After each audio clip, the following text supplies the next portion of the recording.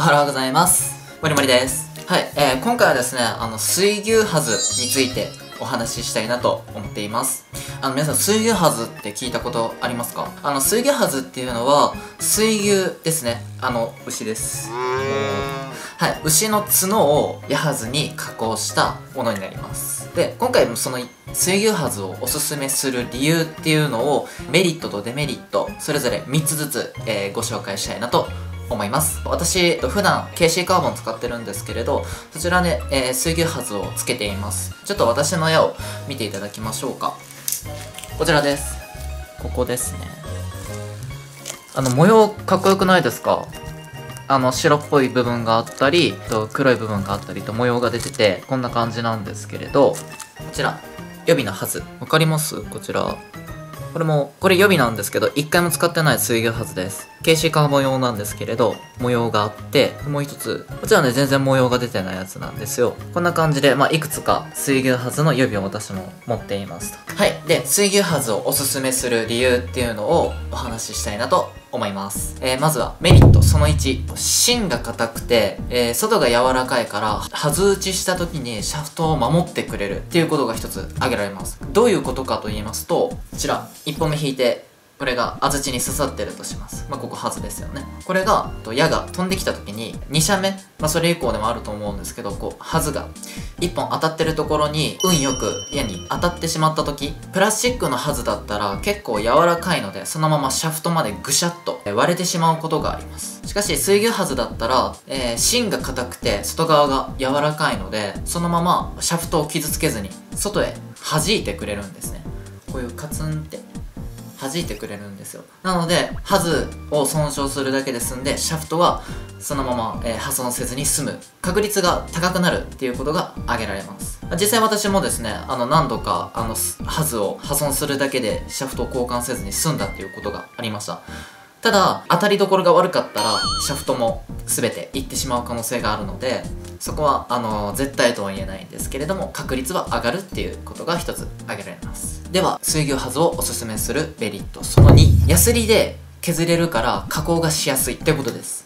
これどういうことかと言いますと、まあ、先ほど、まあ、ハズが、えー芯が硬くてえー周りが柔らかいっていうことを説明させていただいたんですけれどプラスチックよりもこちらヤスリで削ればハズの幅ここの溝ですね。溝の幅が調整できるんですよ。ちょっと分かりづらいかな。私ねあのーちなみにここ矢につけているハズは全部調整してます。どういう調整してるかっていうと溝を広くしてます。こちらとこちら。分かります？溝の幅全然違うの分かりますかね？矢につけてる方が広く加工してあります。これなんでかって言いますと私使ってるツルがめちゃめちゃ太いんですよ。なのでこっちの幅だったら入んないんですよね、そもそも。矢がつがえられない。なので、あのわざわざ削って、えー、ハズが入るように調整しています。他にもですね、含みハズとかパッチンハズっていうように、この溝の奥の部分、ここですね、先の部分を鍵穴状に削って、しっかり噛み合わせるようにするっていう加工もできます。ちょっと面倒ですけれどね。そういった加工もしやすいっていう点が水牛ハズではメリットになります。では、水牛ハズをおすすめするメリット。その3、見栄えがかっこよくて目立つ。そして自分のものだとすぐにわかる。です。はい。私が、まず一番初めに水牛ハズにした理由っていうのは見栄えなんですよ。かっこいいから、普通に。で、あの、KC カーボンのプラスチックのハズって、あの、結構白いんですよね。で分かりやすいんですけれどちょっと雰囲気がハズで変わってしまうのでちょっと渋い雰囲気出したかったので水牛ハズに変えました、ま、やっぱり一番はその見栄えがよくって、まあ、よく目立つっていうのがあの一番ですね私の中では。まあこれ単純な理由です。あの渋くかっこよく仕上げることができるっていうのが水牛ハズのメリットその3です。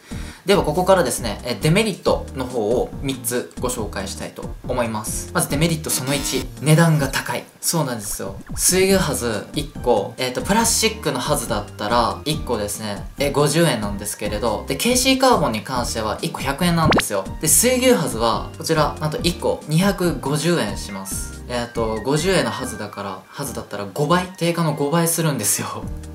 なのでちょっと値段は高いですちょっとっていうかかなり値段は高いですなのであのコスト的にはちょっと、えー、デメリットかなと思いますそして、えー、デメリットその2水牛ハズ対応のシャフトが限られているこれなんですけれど水牛ハズが入るシャフトっていうのが実はすごく限られています。え一つはジュラヤ。えー、ジュラヤの中に1913と2014、2015。これ、あの、同じ系なので、あの、対応して入ります。そして、2114、2117。これも水牛はず入ります。あと、KC カーボン。そしてもう一つが竹屋ですね。この大まかにジュラヤ、KC カーボン、竹屋。この3つに限られてくるので、あの他の例えば水のカーボンであったりとかイカズチでイカズチカーボンであったりとかそういったシャフトには対応できないのであの注意が必要です。水牛ハズの軸シャフトに入る部分ですよね。シャフトの入る部分を削ればなんとか入らなくはないですけれどえっ、ー、とこの頭の部分ですね。ここが要はシャフトピント合ってくれ。ピント合ってくれ。はい。シャフト、ここが辛い位置にならない可能性がすごく高いんですよ。